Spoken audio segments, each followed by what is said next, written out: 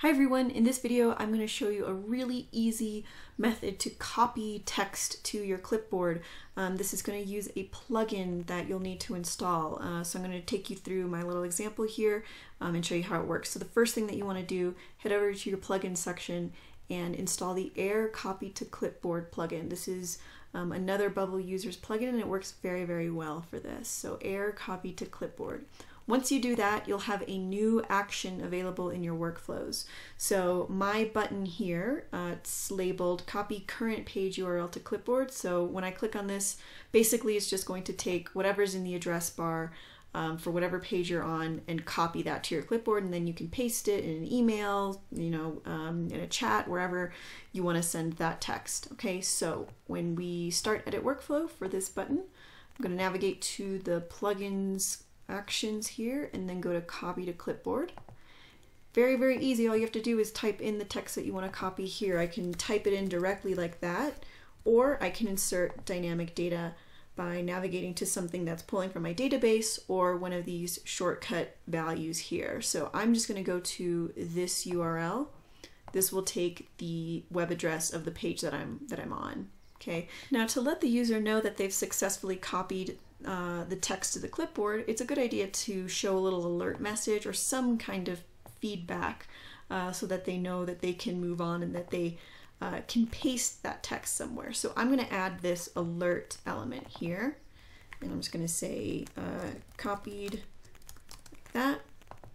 Okay, and then we'll go back to our workflows and I will show that alert message right after the copy action this is going to be our copied alert. Okay, so now the user will know immediately that they've copied it properly.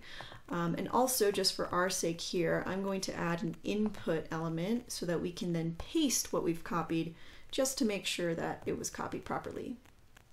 Okay, so I'm going to preview the page now. All right, so I'm going to click on copy there. We know that it's copied. Now if I come here, I will right click paste I can see that what has been pasted is exactly what's in my URL here. Just to show you, just to prove that I didn't have it previously copied, I'm going to copy this bubble apps here first, copy that, and let's paste that here. So bubble apps is currently in my clipboard. Now if I click on this button again, copy, and we will paste over that with what is in my clipboard which should be our page URL. So it's working very well.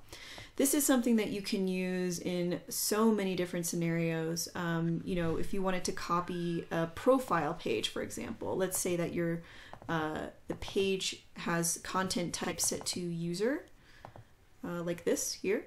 So anytime you navigate to this page, you can send a different user record to it. So you have like a profile page system going.